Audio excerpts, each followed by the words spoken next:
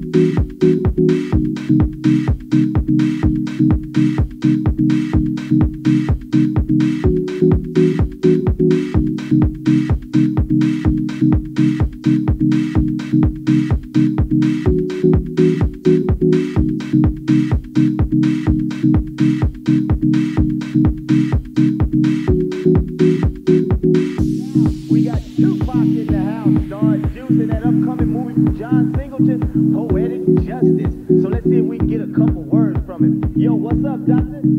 How you living? Trying to make a dollar out of 15